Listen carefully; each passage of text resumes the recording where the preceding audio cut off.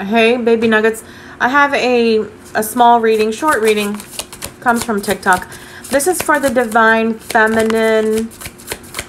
What um,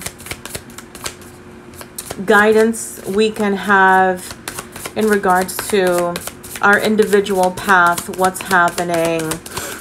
It's general, whatever message wants to come out for the divine feminine I'm going to go ahead and let you guys know. Ooh, those are a lot. Thank you. yeah. Stay within your your your guidance. I just heard guidance. People need your guidance. Others that are on the similar path need your guidance, divine feminine, and that's what you're here for. This is your enlightened path.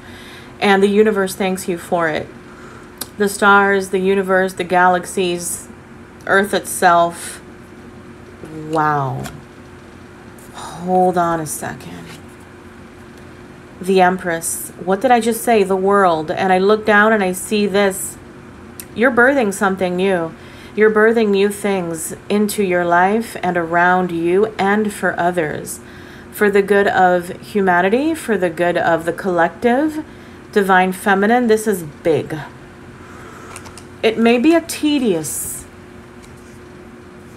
and I understand this totally, a tedious situation. Um, yeah, you may be sick and tired of the process and want to just get away. You want to get away from this process sometimes, and you, you're thinking maybe, why me? Why do I have to be the one to be helping other people, to be helping my divine masculine? Um, I get it.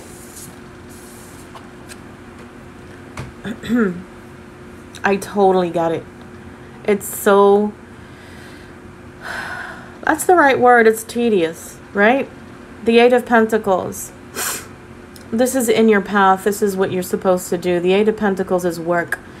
And the spirit guides are intricately working on your path and your divine masculine's path to go ahead and combine them into one this is hard work. This is your um, energies and the energies around you, your spirit guides, both at work with you and your divine masculine, are working, working together for union and working together to get all the intricate details, as I said, and to move forward with positivity and abundance for both of you together. Let me know how you feel about this reading. I love you guys.